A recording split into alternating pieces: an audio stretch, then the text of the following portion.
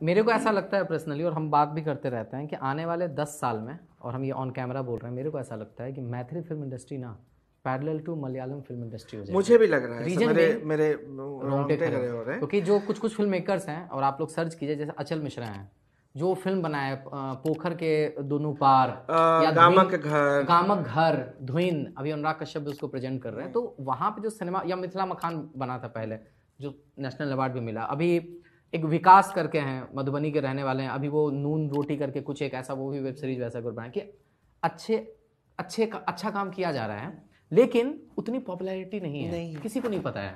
वक्त लगेगा। कोई सुपर स्टार ऐसा नहीं है कोई पावर स्टार नहीं है ये बहुत अच्छी बात है कि सुपर स्टार नहीं है मैथिली फ़िल्म में। हम्म, क्योंकि फिर कंटेंट जो है या जो आप कह रहे हैं वो सुपर स्टार है। हाँ वो। तो आपको आपको ऐसा लगता है कि हम भी बना रहे हैं। अच्छा आप भी बना रहे हैं? मैथिली में ही बना रहे हैं? चलिए आप ऑन कैमरा आप ये अनाउंस कर दिए हम बना रहे हैं। तो आई होप कि ये चीज़ें जो हैं ये आगे बढ़े।